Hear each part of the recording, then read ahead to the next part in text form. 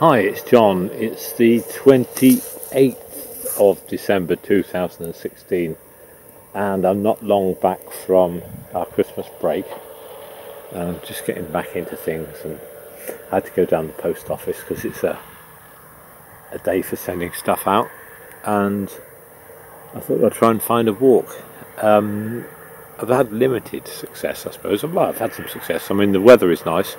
It's a bit hazy. Uh, so I've um, I'm just sort of Piddlehinton sort of direction, and come on a new bridleway down here. Don't really know where it goes and stuff, but uh, this looks like a nice view across here.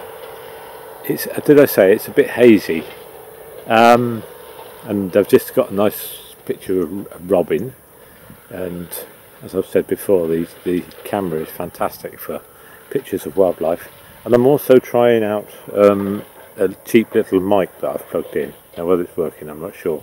I haven't got much charge in the camera so I can't do much filming but uh, just nice to get out and you know because I was doing this before Christmas I'm sort of it's sort of like a, a little secure routine which you know I need I think everybody needs um, but and of course, I've got a few more days before I have to make a New Year's resolution and do lots of different things, which would be a good idea if I did different things.